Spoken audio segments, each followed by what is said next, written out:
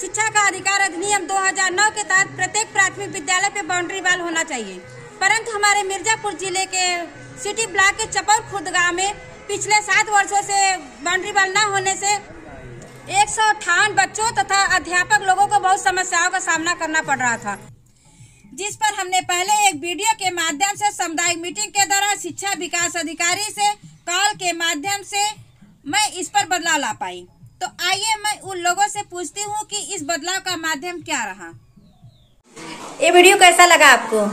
Video आपको बहुत अच्छा लगा। पहले क्या समस्या थी मैडम जी? पहले हमारे विद्यालय में ये समस्या थी कि बाउंड्री वाल नहीं थी जिससे तरह तरह के जानवर आ जाते थे। गाँव में जैसे ही कि बच्चों का मध्य अवकाश होता था गाँव के लोग बाल्टी लेके आ जाते थे तो बच्चे मेरे उसमें भी परेशान हो जाते थे थाली नहीं धो पाते थे। दिक्कत ना हो कि गाड़ी आ, आ जाए बीच में चलते हुए। और पानी भरते थे तो हमें बाद में पीना पड़ता था। क्यों? क्यों बेटा? क्योंकि गाँव के लोग आकर पानी भरते थे। पहले बाउंड्री नहीं बना था। हम लोगों को खेलने में दिक्कत होती थी। कोई किसी से हम टकरा न जाए बाहर जाए खेलने।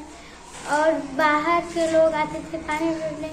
इसलिए हम लोग देर से पानी पीते और अच्छा ये बदलाव कैसे आया आपको? ये बदलाव जो आपने 2009 के तहत आई थी यहाँ एक बार और ये पूरी समस्या हम लोगों से पूछी थी हर जगह जाकर फ़ोटो ली थी और आपने जहाँ भी ये वीडियो भेजी होंगी उसी के कारण ये बदलाव आया है और हमारे विद्यालय में बाउंड्री बन रही है।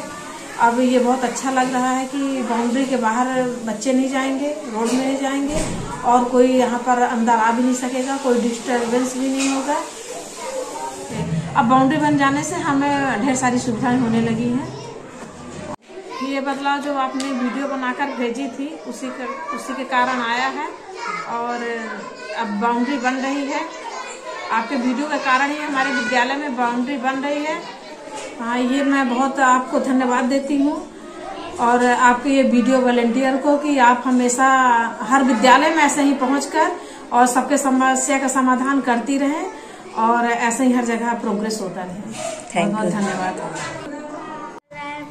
हमारा स्कूल अब हमारे विद्यालय का बहुत ही अच्छा लगेगा हम लोगों को।